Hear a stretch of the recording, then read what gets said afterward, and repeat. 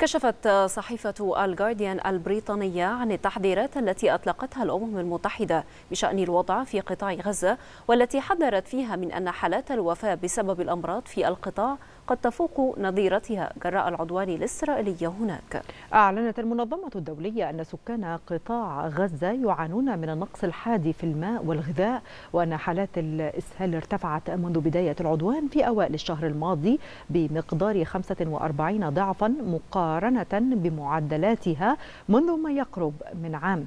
من جانبها قالت منظمة الصحة العالمية إن معاناة سكان قطاع غزة تجاوزت الحرمان من الماء والغذاء والتشريد حيث إن العديد من سكان القطاع يعانون من مشاكل نفسية جراء الهلع الذين يتعرضون له